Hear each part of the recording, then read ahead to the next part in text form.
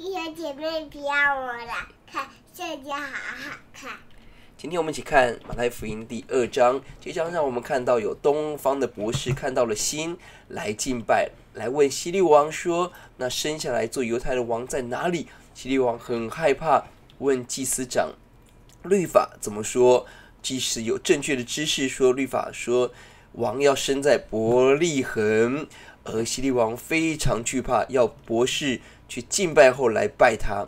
而东方博士随着心来到了小孩耶稣的面前，看到了母亲，于是把他们所准备的黄金、乳香、没药奉献给这个小朋友。那接下来天使启示约瑟、玛利亚。要下到埃及去，上帝要从他埃及招出他的儿子来。而希律王看见自己被博士愚弄，就大大发怒，吩咐把两岁以下的婴孩都杀掉。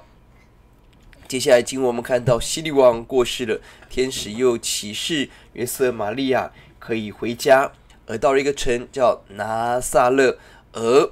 耶稣被称为是拿撒勒人，这张让我们看到希利王拥有地上的权柄，有军事，有祭司长正确的神学，但是却充满了恐惧而进入死亡。